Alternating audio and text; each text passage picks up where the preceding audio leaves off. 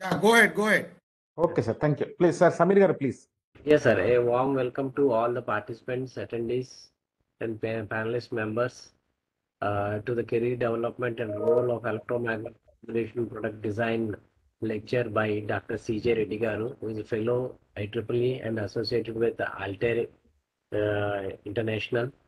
So, uh, first of all, uh, let me uh, just mention one thing that the idea of inviting uh, Dr. C.J. Reddy Garu is germinated uh, in the mind of Mr. Sai, who have attended, I mean, and, and his entire team who have joined with Dr. Sudhakar Garu in uh, VAMS 2022, following which they came to know about many people, many elites, and they are also recipients of uh, CJ uh, Dr. CJ Reddy's travel grant to attend VAMS 2022, for which, uh, on behalf of them, I convey my uh, uh, convey their thanks to Dr. CJ Reddy Garu. And uh, uh, following this, uh, now uh, uh, Dr. T. T.S.N. Murthy Garu, over to you, sir. Uh, quickly, uh, for a minute, please introduce the ComSoc SPS joint chapters and the event.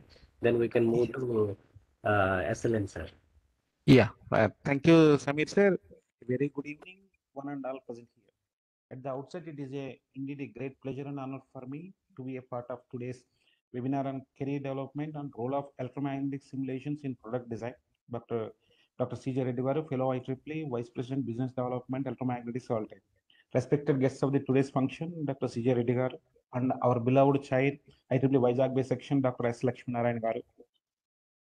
our vice chair dr vvs Chakra- chakravarti garu and his team who has put all the efforts to make today's event happen the treasurer secretary dr n. Uday kumar garu treasurer mv subbarao garu and member is uh, hema madam and other ec members of the IEEE vizag based section and student coordinator sai durga and sai liket.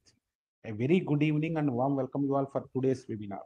First i would like to thank my uh, today's speaker dr cj reddy garu for accepting our request. Sir, we are very much delighted uh, to have you here on this occasion. So coming to the chapter, ComSoc and SPS chapter, Vizag Bay section is organizing series of technical talks on seasonal schools on the recent advances in communication and signal processing areas since inception. So along with the technical talks, we have successfully organized two seasonal schools. One is on signal processing and communication systems for 5G in association with IEEE Finland and IEEE Long Island. We have successfully organized in the month of September 2021. Uh, uh, 400 participants have attended this program across the globe. And it- this event is completely sponsored by IEEE Signal Processing Society. And the second seasonal school, we organized a network federated learning in association with IEEE Finland, CAS, SPS chapter, and other chapters in the month of March. This is also sponsored by IEEE Signal Processing Society. Along with that, we are organizing many technical talks. So I hope and wish in future also we are planning to organize some seasonal schools workshop and technicals for the benefit of the our professional members as well as the student members in IEEE Vizag Bay section. Thank you, sir. Thank you for giving me opportunity. Now hand over to Samir Chakravarti.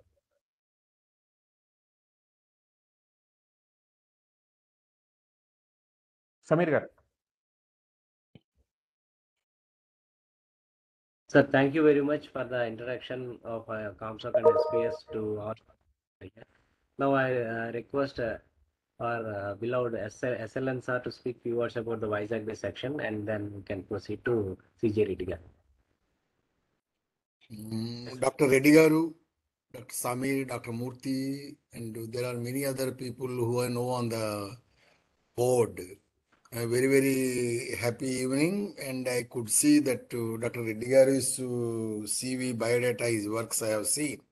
After Murthy was mentioning me that uh, Reddy Garu accepted uh, this talk, then I really felt happy that uh, our uh, professional members will get benefit of- with his talk. uh, and it is a- one of the best talks what we are uh, planned and organized in 2022, sir, Dr. Reddy Garu. I really happy to have with us. Ours is a small section in 2021. We say our team is very strong and we became uh, uh, medium section in 2021, in fact, and large section 2022. Our members work very hard.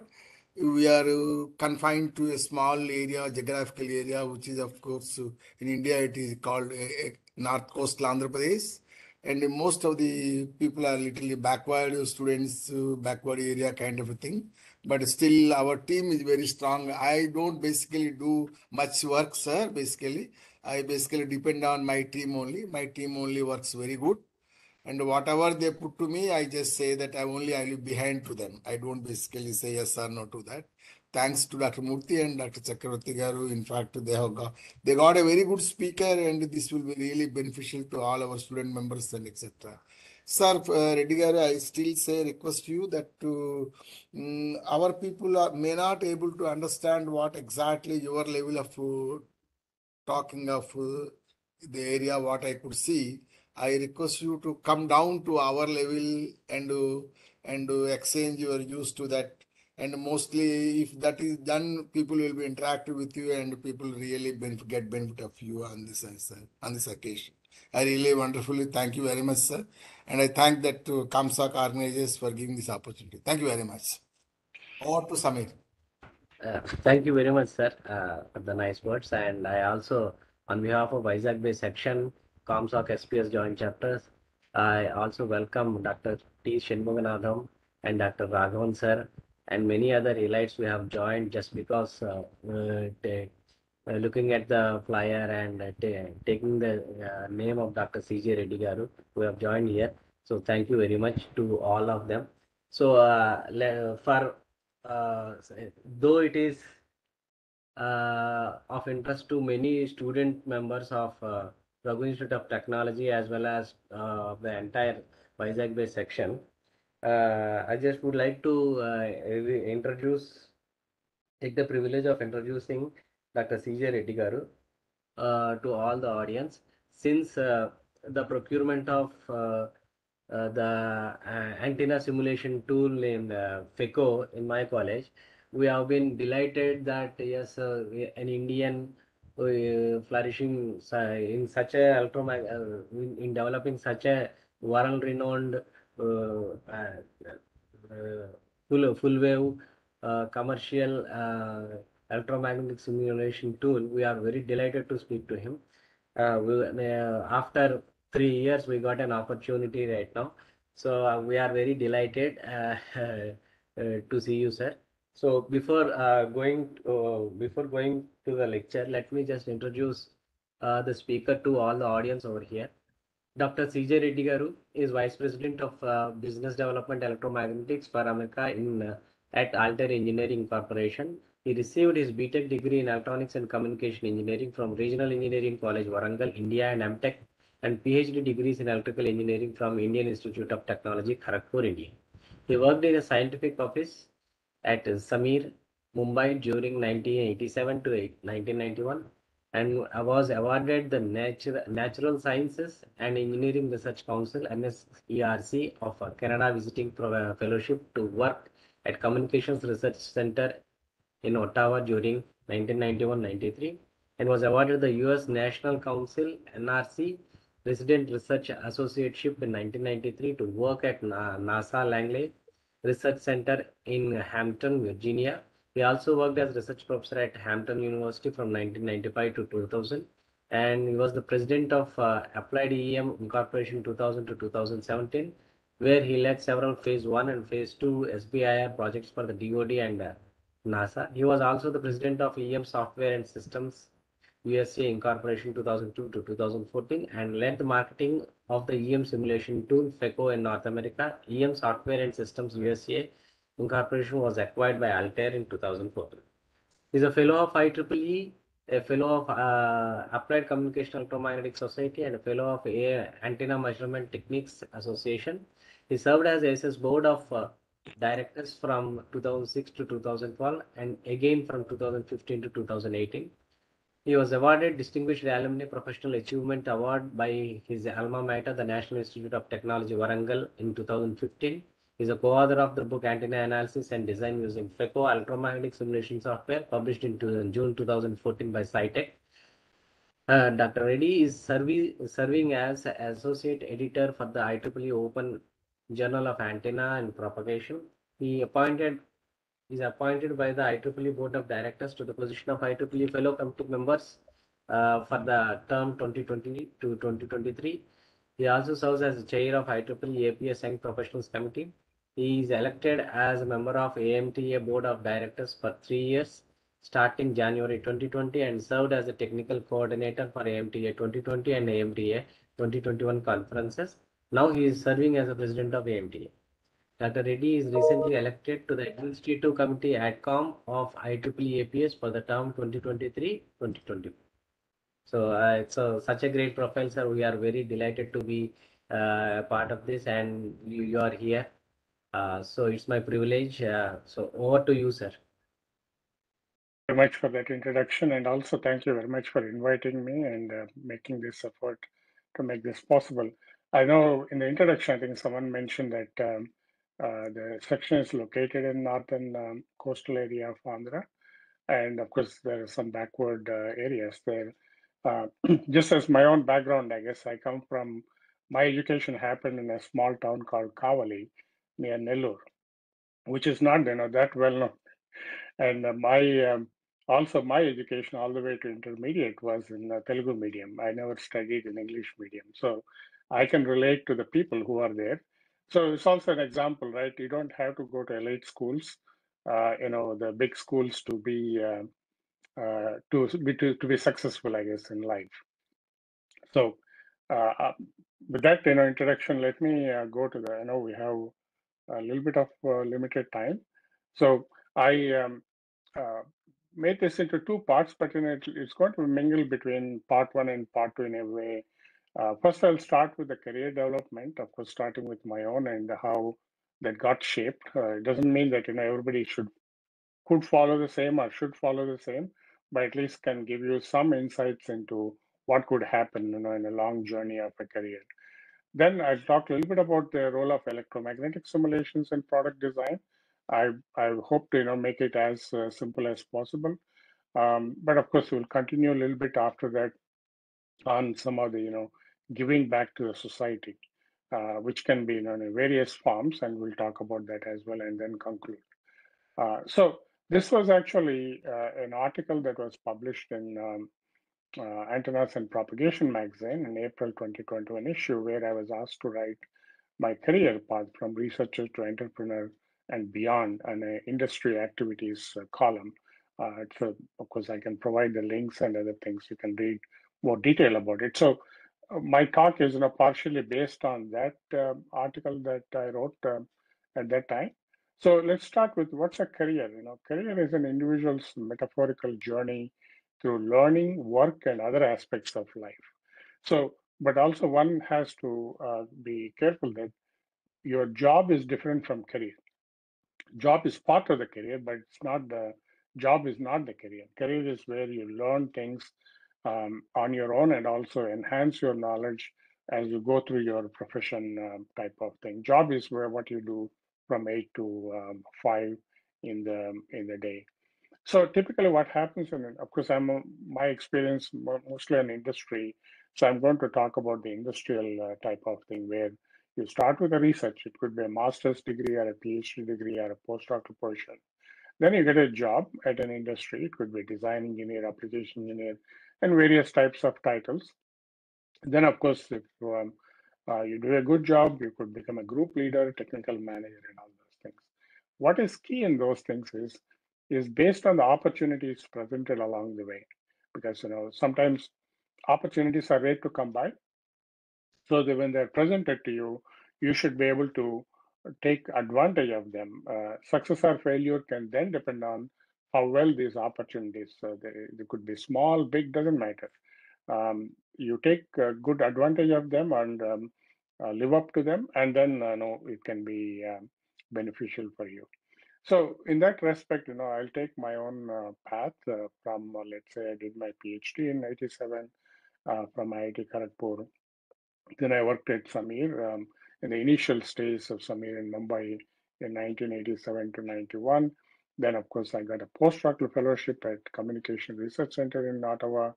And then I uh, got similar postdoctoral fellowship at uh, NASA Langley in Hampton, Virginia. And then, of course, I continued my research as a research professor with the NASA support at Hampton University. then, of course, I started a company called Applied EM for antenna uh, solutions. Um, and uh, at the same time, I also started a separate company called EM Software and Systems to promote FEKO in uh, North America. It was acquired by Altair in 2014, so I transitioned to Altair. And then, um, uh, of course, this beyond, I guess now I'm um, here. Uh, so let's talk with the researcher, uh, know what I did in research and how it got evolved. Um, first, when I joined for research in IIT Kharagpur, uh, my uh, PhD advisor, Dr. Deshpande at that time, gave me uh, these rules of uh, PhD, which should be useful for uh, most of the students and probably all of us, I guess, is that it has to be a problem, new problem with a new solution. Or it could be an old problem with a new solution. Or a new problem with an old solution. All three can you know, work very well for a PhD thesis. What cannot work is an old problem with an old solution. And of course, he also advised me that um, uh, you publish, publish, publish. Whenever um, you you make a progress, you don't wait till the end of your PhD. You publish, and um, there are reasons why you know once publishing can help is because once you start publishing, you get uh, reviewers' uh, remarks. So it's not just your own uh, feeling or your PhD supervisor's feeling that you're doing good work or bad work. When you get the feedback, you can improve on your work. Maybe you don't publish on the first submission, but you know you learn a lot about um, uh, what the, the reviewers you know will give you very valuable feedback that could be very useful to you. And that's what helped me as well along with my uh, phd career. Of course unlike today you know um, in those days we used to maintain books. I this is one of the book i notebooks i guess i used to do the derivations of equations on course my thesis was on characteristics of single and coupled cylindrical strip lines at that time um, course, you know, you know, we used to bomb, put these covers on your books and things like that. And of course, at the same time, I could um, fortunate enough to publish um, uh, five or six papers during my PhD, and then could complete that PhD successfully. Because once you publish in uh, reputed journals like you know IEEE Transactions and things like that, um, you don't have to write too much in your thesis. All you have to do is expand your paper and publish the um, thesis. Uh, so that I could do that in uh, 87. Um, so that's a, the moral of the story is, you know, uh, work hard and publish uh, during your PhD so that it becomes easier for you to go through your PhD examination at the end. Of course, then I joined SAMEER, um, and my first task given was that here you should notice that you I started with cylindrical strip lines, uh, and then um, I moved on to the radar design, uh, but of course, this is an opportunity for me to learn. And at that time, we worked on uh, two types of radars. One is called FMCW. This is frequency modulated continuous wave radar. Other one is pulse radar. Uh, both of them, you know, are used for detecting uh, not only objects but also, you know, may, like, um, uh, measuring the distance. For example, FMCW radar is a very popular one for uh, aircraft altimeter applications. That is, that measures the distance of the aircraft to the ground. But also um, now, I think in the modern area now, after 30, 40 years, I guess, uh, it's also used in automotive radars. All the automotive radars you see, they're FMCW radars. Also happened to work with uh, slotted uh, waveguide array at that time. Why this is important? Um, at, the, at, that time, this was meant to be a surface detection radar for airports. But you normally, of course, this is the slotted waveguide inside the um, uh, radome there. But it's also popularly you see it on ships, uh, small and big, you know, the rotating thing. That's a slotted waveguide uh, array. So it gave me you know, a little bit uh, better understanding of what's happening in the real world, not only designing them, fabricating them, as well as um, testing them. Um, gave me a good opportunity on this um, uh, side of uh, you know the industry.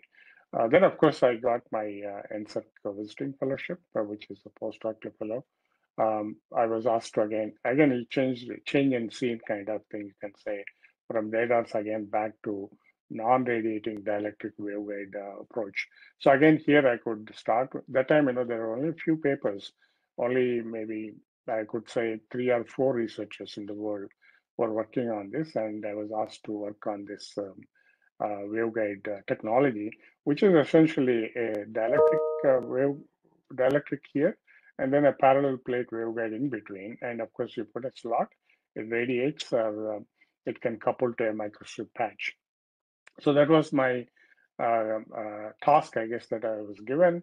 So I started with uh, the analysis and we fabricated it, and also we could uh, test it within the lab uh, that we have at uh, CRC. Um, so again, you know, here what we extended that slot to with a patch on the top. You can see the small patch at X band, and then uh, this is an antenna that's excited by the um, the, the dielectric waveguide that's passing. The reason why this is important because most of you who have done, let's say, even in undergraduate classes, the waveguides, right, the metallic waveguides, metallic waveguides become lossy at uh, higher frequencies, like millimeter frequencies. So they want to use dielectrics that are less lossy at higher uh, frequencies, like millimeter waves. So this is one idea that at that time that was there. But I think this did not go further because of the complexity of fabrication of this one. And also, if you look at my previous slide, the um, the transition from rectangular waveguide to the, this type of waveguide, very cumbersome, I guess, um, in not only fabricating, but also um, um, uh, maintaining it, I guess. So this was actually, in my opinion, this is my personal opinion, that it's a predecessor to what we now call substrate integrated waveguide. Essentially, you take the uh, the um, the PCB board uh, on both sides laminated, both sides with copper lamination, and you put the vias. So this becomes your waveguide, that is the dielectric waveguide, and of course the top we have the copper uh, lamination top and bottom that becomes the. So though it did not go further here, but it somehow evolved into Dr. Ke Wu at uh, Ecole Polytechnique um, has extended that, and now it's a very popular um, transmission medium, I guess, transmission line in uh, very high frequencies, millimeter integrated circuits, RF integrated circuits. Um, so now, again, you know, I was offered a associateship at uh, NASA Langley Research Center while I was at CRC, and I moved over here. Of course, some of you may may may or may not know this is actually the first uh, NASA research center that was established in 1917 uh, in Hampton, Virginia, and uh, they celebrated um, 100 years in uh, 2017. Of this is even before NASA existed as NASA. This was one of the first uh, research centers there. Of course, as a uh, some of you who have gone through antenna uh, courses and other things, you may remember this person, Professor Constantine Balanis. Balanis antenna book is very popular all over the world. Coincidentally, he also worked at this place after his uh, PhD in uh, Virginia Tech. Uh, he is actually local here in Hampton, Virginia. This is where he came from Greece when he immigrated as a teenager and studied in this area where actually I am right now, and also worked at NASA Langley after his uh, graduation from Virginia Tech. That's kind of a little. Uh, so I still, you know, um, and talk to Professor Balanis time to time. We feel like you know we come from the same place because I immigrated to the same place where, where he immigrated as well. Um, just as a change of scene, again, you know, I was asked to develop uh, this hybrid FEM and meta uh, code. At that time, you know, there were no uh, commercial tools. HFSS just came out at that time, the 1989-90 period, but this is 91, 93. And uh, NASA Langley asked me to develop an FEM hybrid, meta-moments hybrid method for cavity-backed antennas. Um, of course, that was very new to me. And I never worked in this area. As you can see, my past experience was in different type of uh, things. But I was fortunate. Again, this is an opportunity that was given to me, uh, though I, I, was not, you know, working in this area before. And um, this is what I thought. You know, you don't know what you can do until you try. So let me give it a try. And I actually started. Um, with a very small equation. This is, you know, um, uh, maybe Laplace equation, I guess, or maybe uh, scalar Helmholtz equation type of thing, and uh, started with a waveguide and its modes, and then extended that to uh, vectorial basis functions, and then um, uh, extended that to the cavity. Um, and um, we actually published a report in a NASA report in 1994 that actually became one of my uh, second most uh, referred uh, uh, publication uh, after you know other uh, things that I have done. Uh, that's because you know I detailed all the derivations from this equation to this equation, how the FEM is implemented uh, with all the equations, and um, uh, so it has become a teaching material in many uh, classrooms. And I do get time to time students come and thanking me for writing the report because papers, you know, they don't give all the information; they just skip many many steps. And this report gave all the steps that are required to uh, implement an FEM code uh, on your own. Uh, so, you know, we moved on from there and then we said, okay, let's open the cavity, apply method of moments for scattering. And um, um, then, of course, the radiation. Here we apply the FEM here, method of moments on the cavity, on the aperture, but also uh, hybridized with uh, GTD, geometrical theory of diffraction, and applied that to a spiral antenna and able to compare that with the measurements successfully. Uh, then, of course, again, we published a paper on this one, and we moved on to, I was um, uh, funded through the university, through NASA Langley funded me to, through the university uh, to develop some of the advanced techniques. So this is what we call asymptotic waveform evaluation or model-based parameter uh, estimation, or popularly they call it uh, reduced order modeling. Basically, what it is is that you take the method of moments equation um, and take one frequency, and at this frequency, you, you evaluate the integrals uh, and some derivatives in this uh, Taylor series type of thing, and be able to predict what comes after and what came before. This is actually very fascinating for me because you don't have any information on other frequencies. You're not doing any calculations at other frequencies. You take one frequency. That frequency can, with the with the derivations that we had with this uh, expression, can predict what happened before, what happened after. Uh, it's a very fascinating area, but of course now uh, this is also in uh, all commercial tools where you do the frequency sweep. But of course, they don't take the derivatives; they take multiple points and use what we call the Padé approximation to predict these things. So we also published on that one. This is of course one of my other popular uh, publication. Um, then of course we moved on and implemented that in FEM and other uh, things. So while doing this, I was also asked to teach at uh, uh, the Hampton University, where I was uh, research professor there. Within that four years I served there, I taught many undergraduate classes there. Of course, again here, you know, it's not electromagnetics. Uh, electromagnetics came at the end of my uh, term there. Uh, but to my um, satisfaction, one of my students who started in engineering 101, that's where, you know, the first year students take that class, all engineering students take that class and gone into all these uh, courses with me. I think the year one, year two, year three, and year four. He actually now serves as the uh, assistant dean and department chair at the university, and he's also chair of IEEE Hampton Road section. Uh, so I call him, you know, my success story of teaching, where uh, somebody whom I taught all four years. Of course, he went on to do uh, masters and PhD at Georgia Tech, then came back as the professor at the university. So that's my kind of a research uh, career you can think of. Then, of course, coming from the entrepreneurship, I think uh, back after my uh, stint with the Hampton University, I was um, my funding from NASA Langley was uh, drying up, and uh, because you know so many other reasons, I guess. So I thought uh, I'll try entrepreneurship because I had contacts at the universities where I can uh, do research proposals to the government and can get uh, funding for the projects and other kind of things. So again, here, you know, I never been an entrepreneur before. So here, you know, uh, this is something I thought, you know, will make uh, relevance here.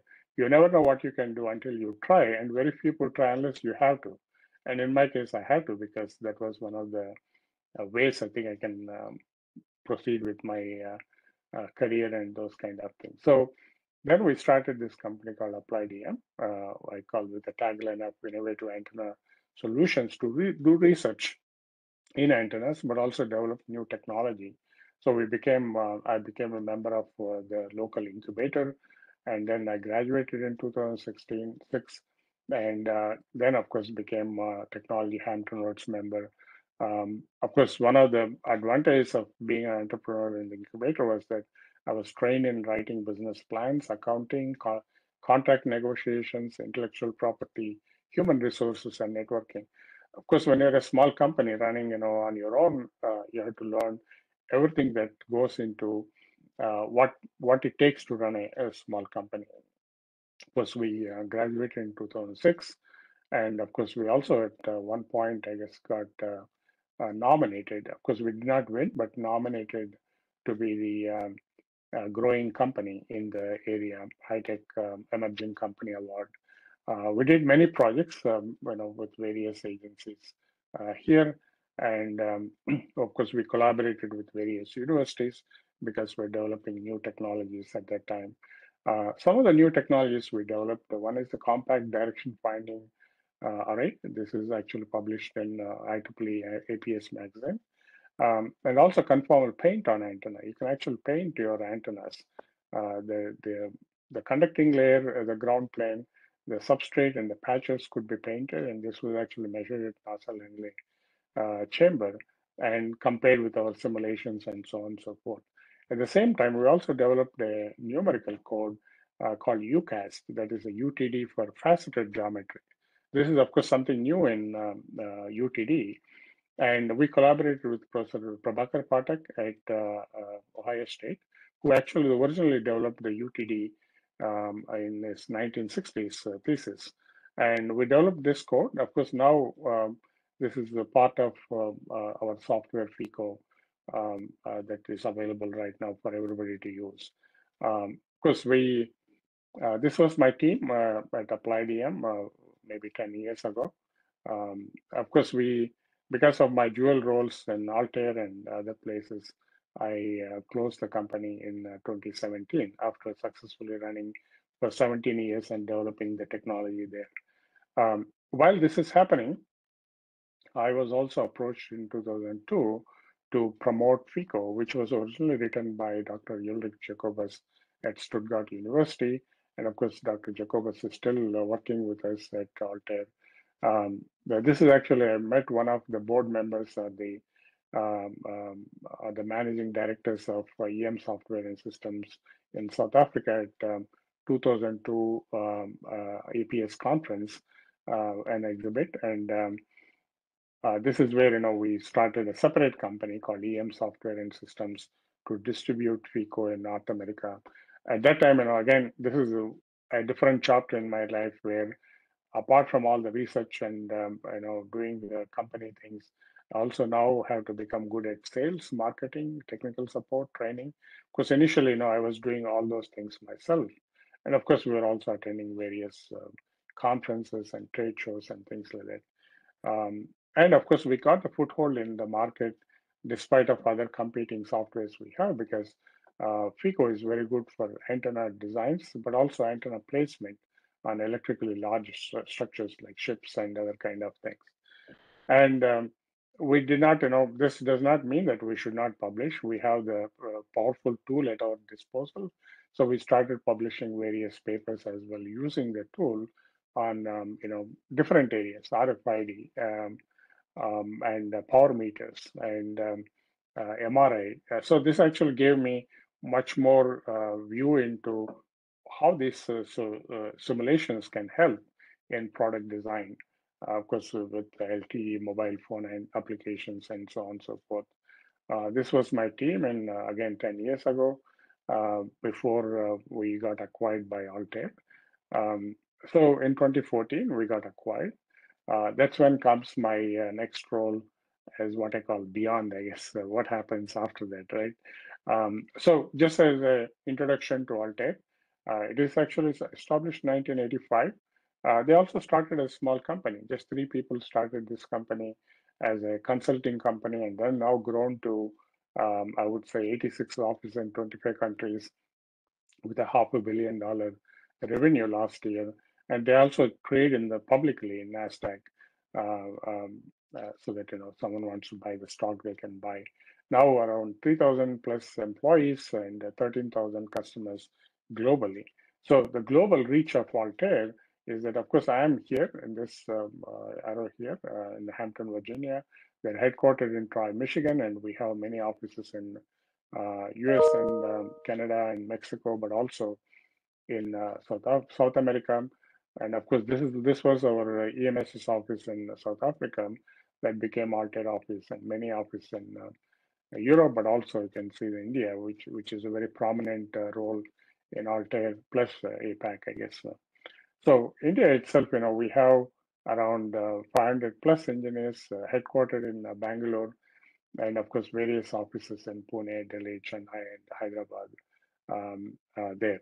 So we not only know this 500 plus, they're not just the salespeople are you know just selling the software. They're also developers. Uh, it's one of our critical you know three parts we have in Americas and Troy as the headquarters, and Stuttgart in the EMEA, and APAC. Um, Bangalore is the headquarters for the APAC area there. Of course, you can see that uh, broad range of uh, uh um, uh, customers. Of course, which, which also means that for me, uh, now it breaks my role in electromagnetics a little bit out and then say, okay, I can look at various applications that can belong to various sectors that are there and also understand how multiphysics is playing a role in these uh, areas. Um, and also we could see the mega trends that are happening. Electrification is becoming big. Artificial intelligence that is driving the simulation data-driven enterprise and semiconductors, cloud computing. Uh, of course, the risk management, uh, this is part of our uh, artificial intelligence solutions. And then, you know, decarbonization. How do you reduce the weight of aircrafts, for example, or weight of vehicles that could reduce the carbonization of the things? And all those things come into picture here as a mega trend, I guess. So, so just to give you an idea, you know, how simulations evolved over a period of time, in 80s, for example, when I was going to engineering college, we used to use what's called T-squares or some other instruments to draw pictures, the mechanical drawings. Now that has changed. So that's how the design was done at that time. And then most of the validation was done through measurements, physical testing.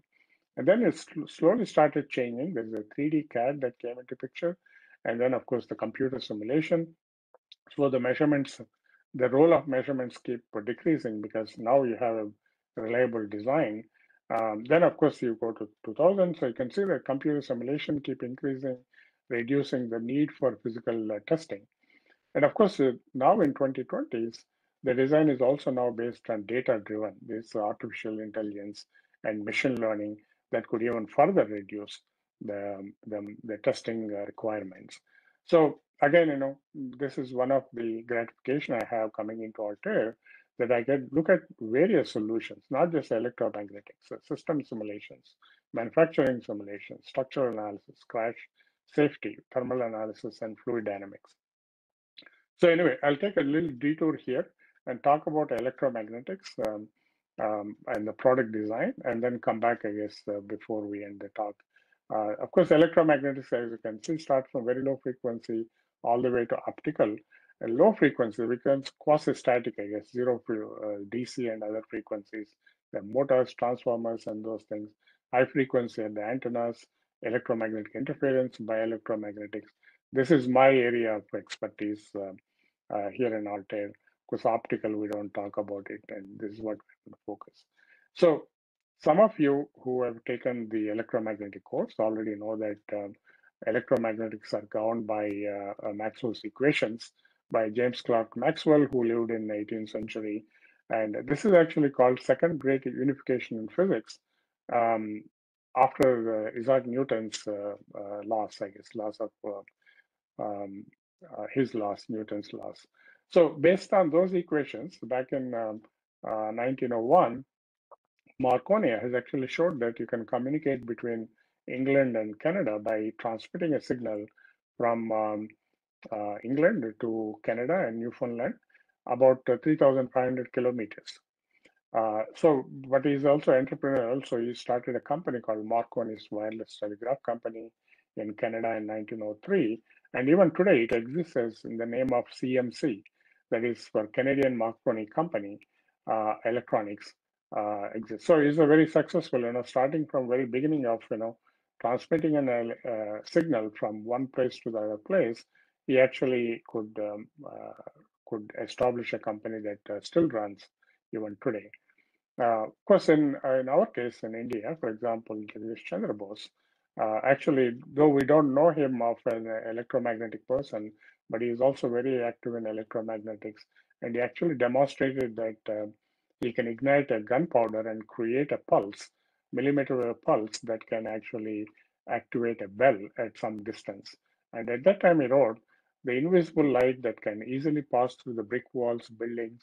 Therefore, messages can be transmitted by means of it without the mediation of wires. Though this was written way back, I guess maybe 100 or uh, 130 years ago, uh, it has come to fruition now that we all see that we can communicate wherever we are. Um, the signals go through and we don't need the wires. This was actually established as a IEEE milestone in electrical and computer engineering uh, in uh, 2012. And this is, of course, the first such discovery in India to get a uh, uh recognition. And of course, the, you can find more details of this link here. So from there, you know, now you can see the antennas are everywhere.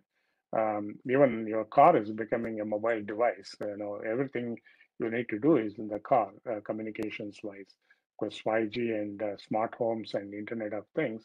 So any industry you take, uh, this is you know where uh, the motivation to learn Maxwell's equations antenna should come to picture because all the industries, any product you take and any industry you take, there are antennas, there are electromagnetics. So learning them will help you uh, build your career uh, further than uh, what could be otherwise. Uh, so just a brief introduction to computational electromagnetics. So we already mentioned electromagnetics are governed by Maxwell's equations, but how do we solve them for all the equations? Because uh, again, not going to too many details, if you want to solve them by hand, like the derivations I showed you earlier, you have to impose boundary conditions.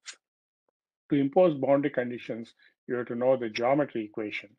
So um, to know the geometry equation for a very complicated structures like for cars and other things is very difficult.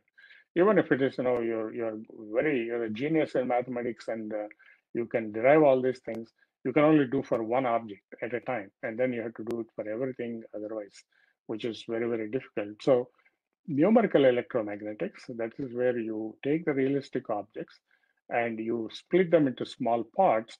In those small parts, you apply um, the Maxwell's equations and then you solve them to combine them. As an example, you can say you take an aircraft, you uh, put an antenna, you want to have an antenna here, the blade antenna, you want to analyze this, you uh, split this into triangles, uh, what we call mesh or a discretization. And once you solve your Maxwell's equations within that triangle, you can add all the triangles together to get your currents. Once you get your currents, you can get your radiation pattern from the antenna. Uh, same thing now, you know, you can do this for every object you have. So you're not limited to one type of object there.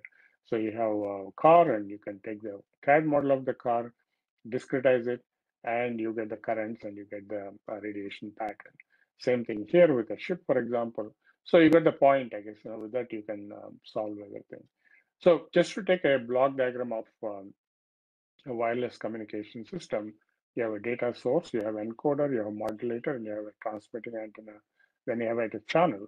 This is what you know that comes between your transmitting antenna and receiving antenna, demodulator, decoder, and those things. So this is where the electromagnetics uh, um, um, comes into picture. Your transmitting antenna, and then what goes in between. Let's say you're calling in a cell phone from your home. Uh, from home to the base station, whatever comes in between is called channel. So it's it is it is uh, critical that you also know how the channel works when the signal propagates from transmitting antenna to receiving antenna. So with those things, you know, in Altair we have two solutions now. One is Altair FEKO that can do antenna designs. Other one is WinProp that can do the channel characterization. That is, you know, between transmitting antenna, receiving antenna, what happens between them. How do they work? For example, you have the antenna you can design it uh, in in, uh, in FEKO, for example, and you can um, uh, compute its radiation pattern, and then you put this into on a helicopter, for example, uh, and you see what happens. This uh, nice pattern here, the, which is circular, uh, can get um, um, this, uh, I would say, um, uh, is not same as this uh, circle. That means that uh, wherever you have the bumps, you get better signal, but where you have the low, you get low signal. So it kind of you know changes the characteristics of the antenna by placing on the. So for any antenna that work on these platforms, it's critical that simulations have to be done. Otherwise, you know, doing them physically is very very expensive and time consuming. And of course, in WinProp, you can take this and uh, do a flight test uh, and so on and so forth. Same thing if you apply that to mobile device, your base station, and you have the um, the urban area, also a Wi-Fi router in your um, um, in your building, for example, Wi-Fi access points optimization, and so on and so forth. So where does this play in real life? Uh, you can take, for example, LTE smart uh, smartphones. Uh, we actually designed an antenna that uh, can that can have isolation and can work as a MIMO. We could come design this. We could actually put on a phone and we could uh, uh, put that next to the head, but also compute the safety issues like SAR, specific absorption values. Also, using WinProp, we can put that into a building and see how the propagation happens within the building, or in a, uh, a in a city, for example, if you have a base station here, how does the signal um, propagate uh, from there? Um, also in tablets, for example, uh, use broadband antennas and you rotate them because you want to have the uh, pattern diversity and polarization diversity. So you put that's what you know MIMO, multiple input, multiple output does. Um, of course, you can design those things. So nowadays, you know, there is a lot of talk about all the way going to 5G, and um, why do we need 5G? And if you take the history from 90s, where you know internet just came out, um, and then you look at uh, maybe two years ago, um, the data consumption has grown tremendously 4.3 ZB per year. I had to look up and see what the ZB means. It's a zettabyte, 10 to the power of 22. Um, uh, they're not, of course, the gigabyte is 10 to the power of 9. Um, this 10 to the power of 22. Um, so over a period of time, cell phones also evolved. Uh, uh, of course, our interest, my interest, of course, our, the people in our area interest is how does the antennas change from, let's say, we, which used to be a stub antennas here, now they disappeared uh, all the all the way. There is no antenna there.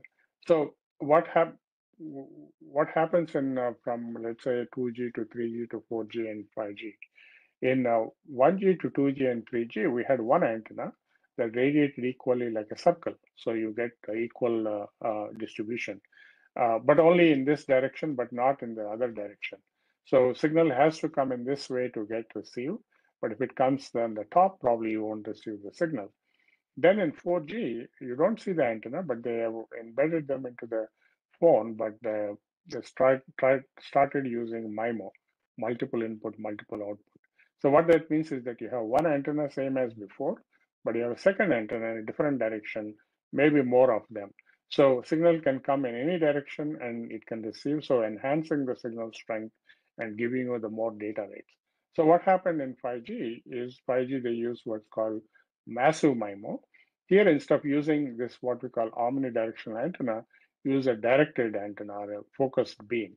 Also focused beam in two different directions for diversity. And of course, there is a focused beam from the base station focusing. So it's like one-to-one correspondence rather than looking all 360 degrees. Of course, you have to do the time division multiplexing, beam scanning, and other things to be able to cover all the users in the area.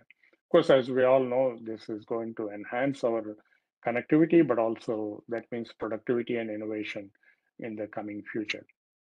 Um, and also coming to the automotive sector, um, you know, we already mentioned that know automotive car actually is becoming a uh, a, a, mobile device by itself.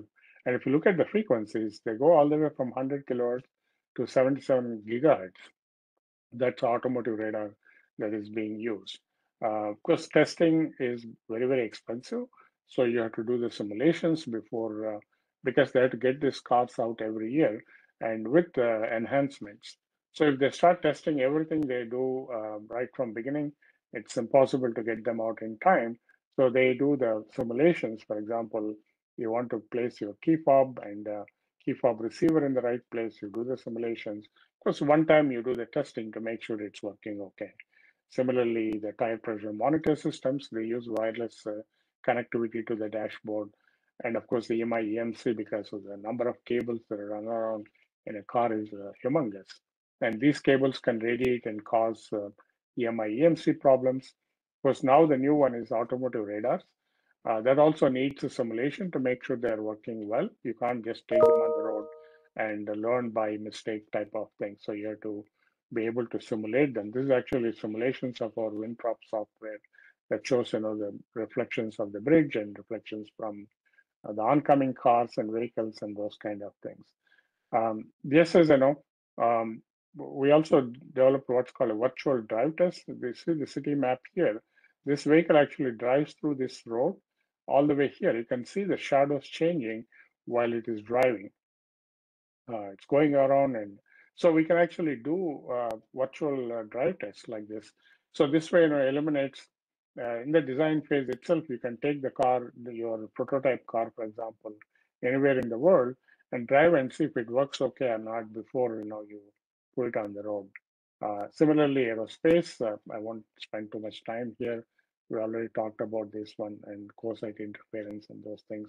And radome designs, for example, uh, can benefit from here. Um, and also lighting effects and its impact on the MIEMC.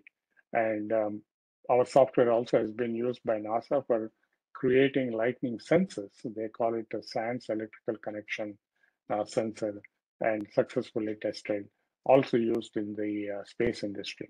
Last, last but not least, for example, healthcare. Um, it's also there also electromagnets can help in design of the MRI cages that we see here. But also when you have uh, implants in, inside the uh, body, uh, they can get heated up. They are metallic implants. They can get heated up when you go through MRI. We can predict the temperature rise so they can be. Um, uh, they're designing, I guess, different type of materials that don't get heated up. Similarly, implanted uh, pacemakers, wirelessly connecting, and their um, own. So coming to education, we have altairuniversity.com where we offer you know programs for students, especially for the, this software. We have a student edition that can be downloaded from there and also a free ebook. And I think earlier it was mentioned about the book that I co-authored with uh, Professor Atef Elsherbeni, Professor uh, Payam Nayeri at Colorado School of Mines. This is actually an antenna book. I mentioned Balanis earlier. Balanis is an antenna book, which is very popular all over the world. But of course, you have to derive the equations and things so. I call this, maybe jokingly, that this is a Balanis book without equations. So we use the software to teach uh, uh, the antenna. So this can be used as a, a supplementary book or, a, or even textbook in a lower classes so that students can get um, uh, motivated uh, to do the uh, to pursue the career I guess in. Uh, we have one page where um, teaching dash feko dash page at Altair University that gives all resources that need to be um, used for the this kind of thing. So this is of course my life right now. This is I call the beyond internship. I am now involved with various industries, helping them um, uh, develop their products through our uh, simulation software. So now coming back to giving back to the society, uh, volunteering is one of the key things in career development. Like you all doing right now, creating this uh, chapter or section and uh, bringing everybody to talk about the you know, dissemination of the knowledge is a service to the society. That's where it comes from volunteering. And as you could see from students like Sai Durga, for example, uh, this can start when you're in school. You don't need to be, you know, uh, become uh, um, uh, employed and things like that.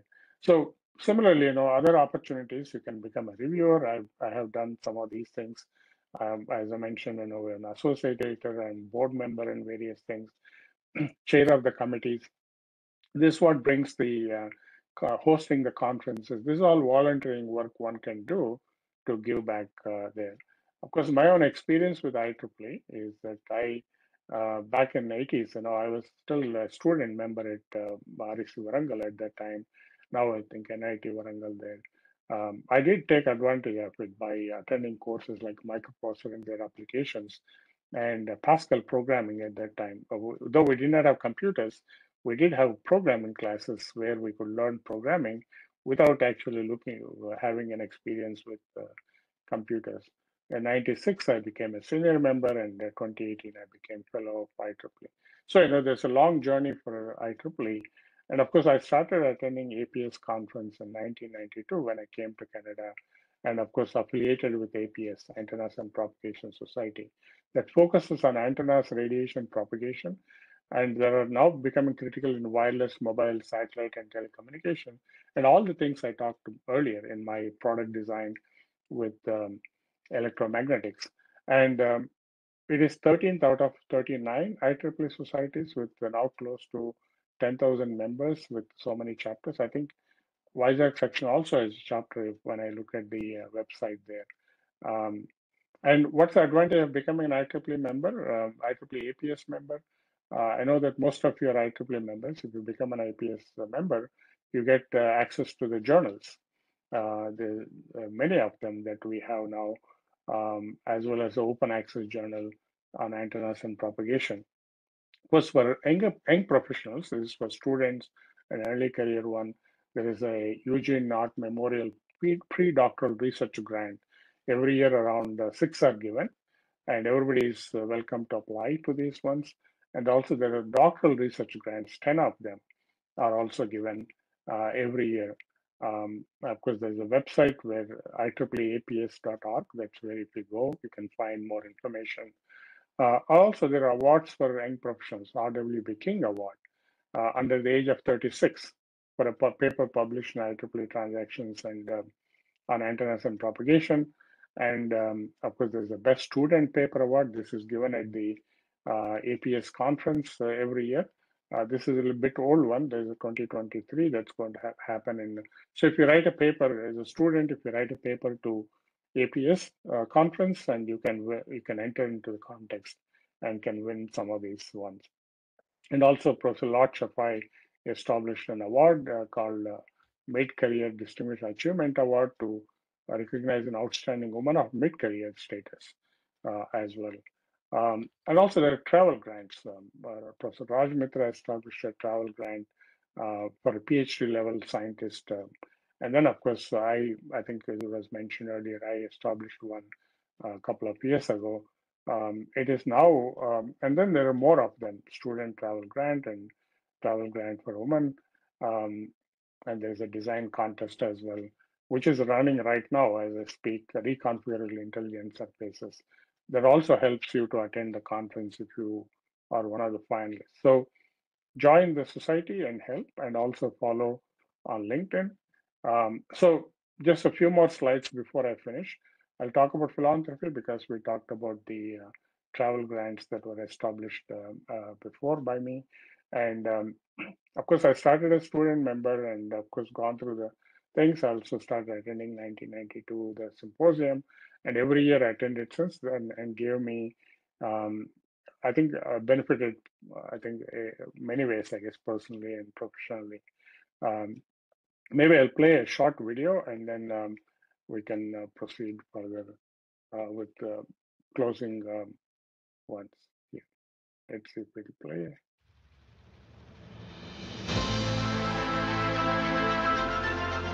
Throughout history, those who strive for change and societal advancement have been inspired by the power of human potential. Here in the 21st century, the IEEE Foundation works to support human potential through philanthropic investment. Donors to the IEEE Foundation help drive innovation and technological advancement by building a thriving ecosystem of educational opportunity, thought leadership, and a culture that draws strength from diversity.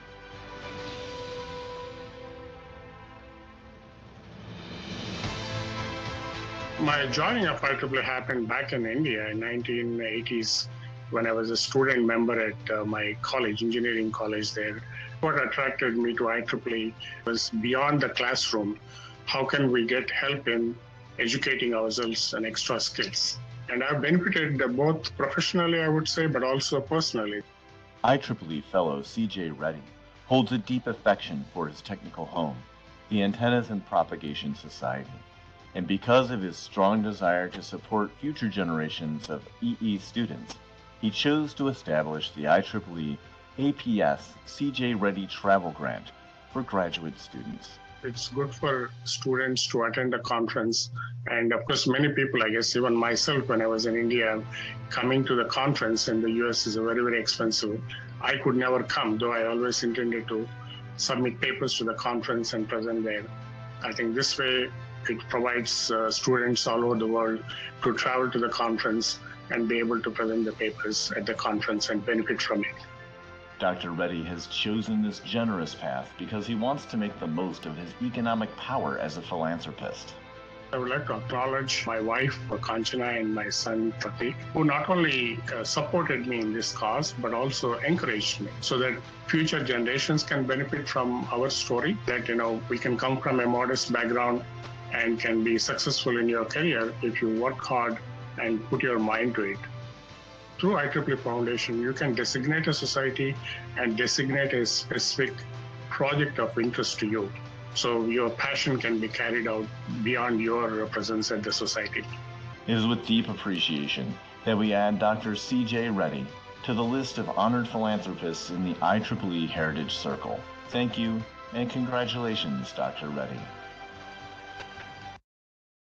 So that's you know um, a short video that I IEEE made. Um, uh, this I'm showing so that you know that can be encouraged. People, some of you know who have uh, gone through it could also contribute. So there are various ways of contributing. You know, volunteering is a big contribution, the time and the effort, but also at some point, you know, we can also contribute there. Of course, in 2023, this is now out and uh, being advertised on IEEE website. Uh, of course, I strongly encourage the students, graduate students, to write papers to APS uh, conference in 2023 and apply for the grant. And hopefully, you know, we, one of you get selected and attend the conference there. Uh, last slide here is my mentors. Um, uh, obviously, as you travel such a long journey, you have, for example, my PhD advisor, Dr. Deshpande, um, and Dr. B.K. Sarkar at uh, SAMEER, and uh, Michelle Kohas at CRC, Tom Campbell at NASA Langley, John Volakis, Florida International University, Prabhakar Pathak, and Dr. Jakobus, who wrote the code. And he is the one who found me to start um, working with uh, FEKO. And of course, uh, my our CEO, Altair CEO, Jim Scapa, who acquired FEKO and also made me part of uh, Altair, and many others. So one final word I want to say, opportunities are rare to come by. Not everybody get an opportunity, but when opportunities are presented, we can take advantage of them. This is the key, I guess. We work hard and put our minds to it. So uh, it doesn't matter whether what's your background and other kind of things. Once you're interested and show intellectual curiosity and work hard, and um, success come on its way. So again, going back to my um, uh, beginnings at Kavali, for example, in Telugu medium and other things, and I could come all the way here because of I think this is a quality that can make anyone uh, successful. Doesn't matter where you come from. So with that, thank you very much for your uh, time. And um, if there is a time is there, I am available for uh, questions and uh, answers. Thank you very much, sir. So any questions from the panelists or attendees? Attendees can raise their hand so that I can unmute them. And anyone from the panelists, if you wish to speak, uh, you can unmute yourself. Hello, hello. Yes, Dr. Raghavan. Oh, thank you, thank you very much. Uh, with uh, sincere thanks to Dr. Samir, uh, Dr. T.S. and Murthy, Dr. Sai, uh, for the wonderful lecture, role model lecture. A person who started telling from D square to the computational electromagnetics. Uh, I have got uh, only one question. Sir, when you were doing work on strip lines, uh, coupled strip lines on cylinder in IIT Kharagpur, please tell uh, what are all the computational electromagnetics uh, you followed? In the sense, uh, you wrote your own coding of which platform or which language, and now you have come to the sky high. I would like to know the bottommost. When your time, in your time, you there were not that much of commercial software. I I hope you will use Fortran or something like that. That will give you a long way if you tell for two three minutes. Yes, yes, yeah. So I showed a notebook where we derive equations, right? So there were no FEM, meta moments type of codes to solve. There's no commercial tools to use at that time. So we have to derive the equations. I think my understand my uh, recollection is we use what's called variation method, where you you formulate your equations and then solve for them to see what's the characteristic uh, impedance of those transmission lines. And once you get this complicated uh, equation, and in this case, because they're cylindrical lines, we use the Bessel functions uh, to characterize them. So those functions, you know, you can't just compute by calculator, right? You have to program them. So we used to use Fortran, obviously, that's the language we all learned in school. And um, IIT Kharagpur at that time got a brand new HP 1000 computer, and which is put in a nice computer room with AC and things like that. So computer used to be in one compartment. We used to have terminals outside. Maybe that's a kind of you know low version of cloud computing at that time, mainframe computers, I guess. So. And um, we're fortunate. I mean, actually, we're fortunate to use that those kind of facility because before that, uh, before I used those kind of things, I was told there were punch cards to use in the computers, which is, you know, you punch those cards as uh, statements, feed into the compiler, and the compiler says there are errors, so come back and punch again and go back. But using the terminal to do the same thing at uh, in interactively was a luxury at that time. Of course, I don't know graphics and other things, just you know, uh, plain terminals, I guess. Does it answer your question, Dr. Argun? Yeah, yes, definitely. Very, very rare to get this kind of answer these days from the new researchers. Yes. Yeah. Thank Thank you, you. thank you, sir. Thank you. Thank you, Dr. Raghavan. Thank you very much for joining with us tonight, along with uh, uh, Dr. Shanmuganantham.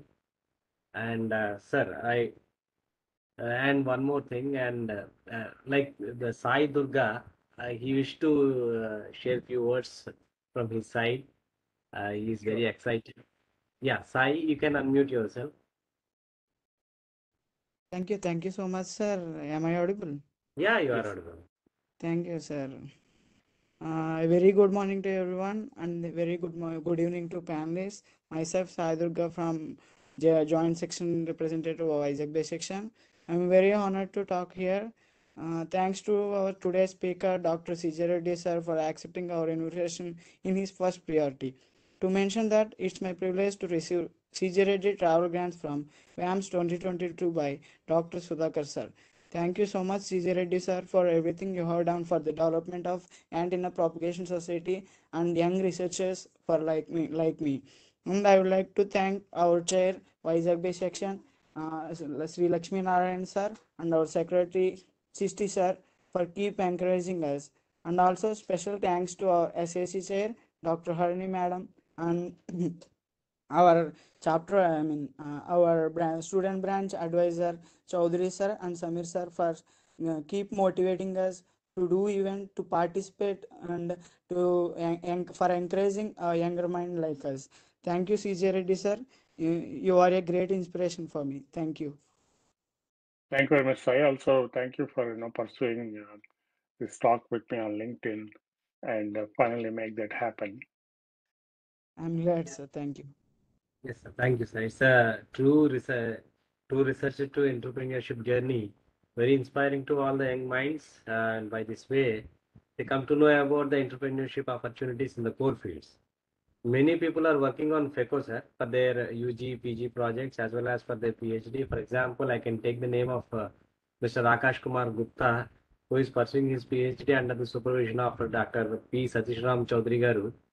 Uh, in the field of uh, HIS, mean, uh, in HIS antenna designs. They are working on FEKO and they started publishing in several uh, Science Citation Index journals and one in ASS2 recently.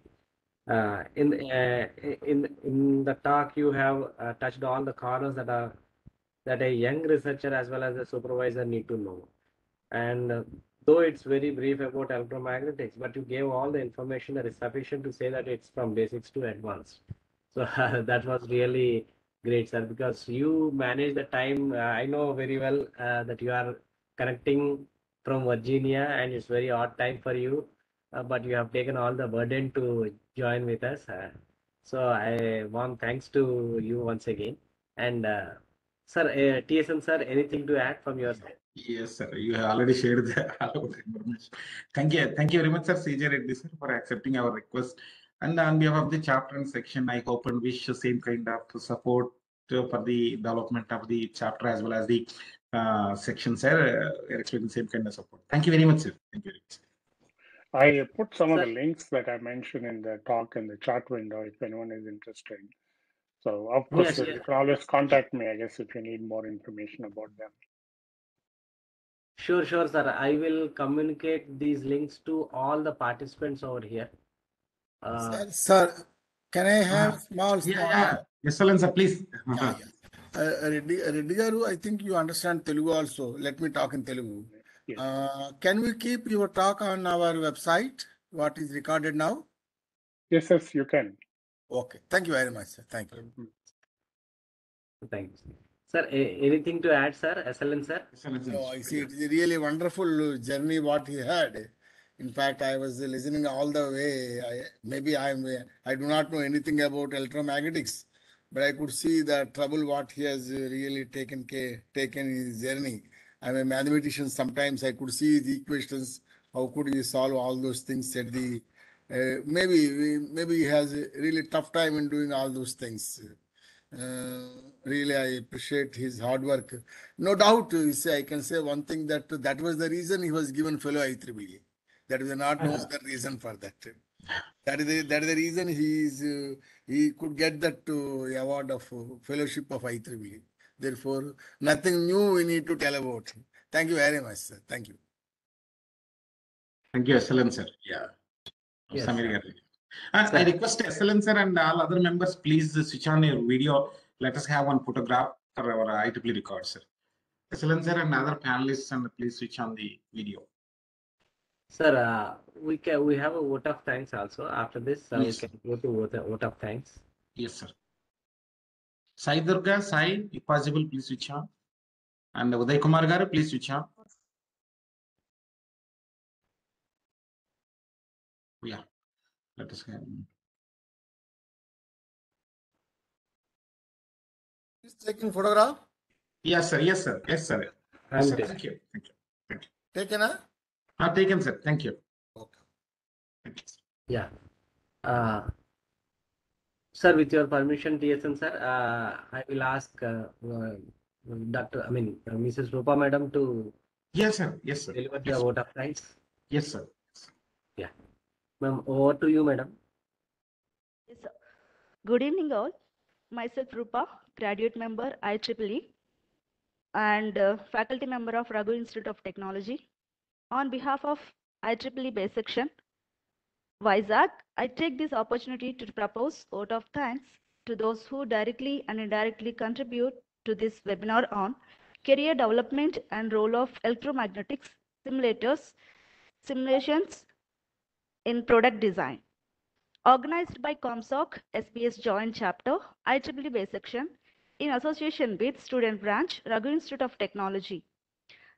At the outset, my heartfelt thanks to our resource person, Dr. CJ Reddy Garu, IEEE Fellow, Vice President, Business Development, Electromagnetics, Altair. We are really enlightened with your deep knowledge and perfect logistic support and guidance extended to all of us. Thank you very much for such a critical topic focusing the career opportunities to young aspirants in the electromagnetic engineering. Engineering, so your journey from research to entrepreneur is an inspiration to all the engineers, irrespective of their field and discipline. We understood that it's not simple, yet very challenging and inspiring. You shared the golden rules of PhD. This helps people like us who are pursuing PhD. We have here several students members who are working on FEKO tool in our colleges who are uh, joined this meeting tonight. It's like a dream to dream come true to speak to the inventor of the tool, which is usually a tough task. Thanks to IEEE Bay section for this opportunity. This talk was a composure of general, technical, career inspiring. On behalf of SPS ComSoc Joint Chapter Vizag Bay Section, I sincerely thanks to uh, SPS chapter of student branch of Raghu Institute of Technology, IEEE Vizag Bay section, and elites like Dr. Shanmuganantham and Dr. Raghavan for joining this meeting and making this event a grand success. We look forward to more support to our student branches from you, sir. Thank you very much, sir. Thank you. Thank you, sir. Thank you very much. Thank you very much from my side for everybody. And I just want to make a correction in the word of thanks. I did not invent FEKO. It was written by Dr. Jakobus in Germany, but I only supported it over a period of time. So with that, uh, I would like to thank everybody and um, uh, you all have a good night. And uh, Thank you, sir. hopefully, you know, we'll meet sometime in the future, either at the conferences here or maybe at conferences in India. So Definitely, sir. Thank you very much, sir. Thank you. Thank you, sir. Thank you, sir.